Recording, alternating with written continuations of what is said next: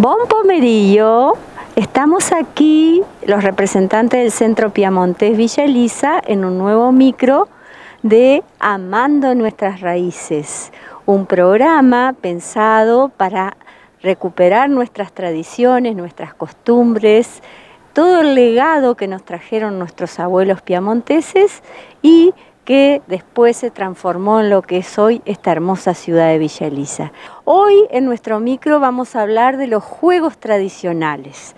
Los juegos tradicionales es algo muy valioso para darlo a conocer, porque nuestros abuelos trajeron ese legado también, como les decía, esas costumbres, lo transmitieron a sus hijos que nacieron acá en la Argentina y esos juegos, como por ejemplo las rondas infantiles, el juego del ajedrez, eh, el juego de las canicas, le llamaban ellos al juego de las bolitas, eh, de la bolilla, y muchos otros juegos más. Primeramente vamos a hablar de lo que es el juego de la morra o murra. ¿Eh? que es un juego muy apreciado acá en la ciudad de Villa Elisa, que hay mucha gente que lo practica, lo sabe, eh, cuando uno no tiene conocimiento de lo que es el juego de la murra que le decimos acá, pero es morra, ese juego nos parece algo muy raro porque es un juego de manos.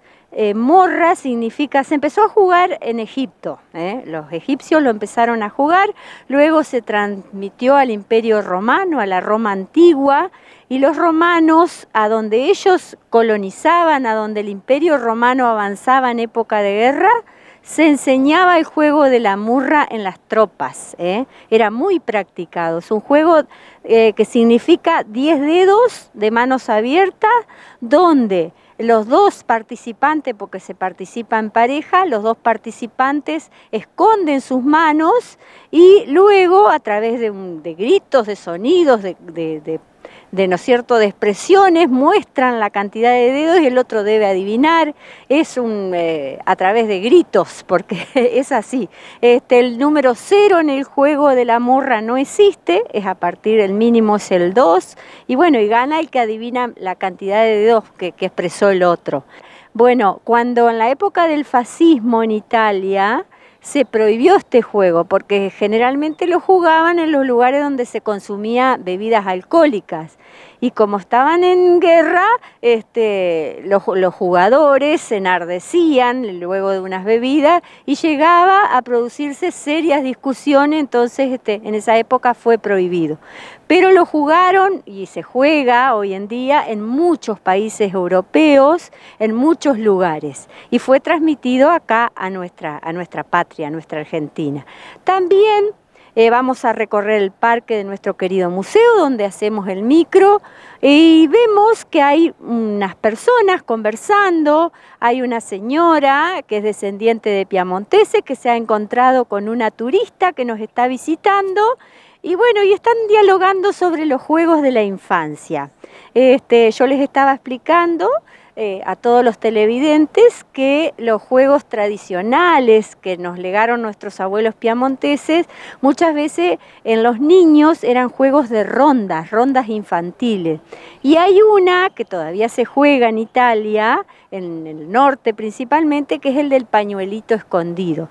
Consistía en hacer una ronda, varios, y uno que se elegía eh, realizaba, eh, tenía el panuelito, tiene o tenía, no, el panuelito en la mano y corría y se lo tiraba a alguien.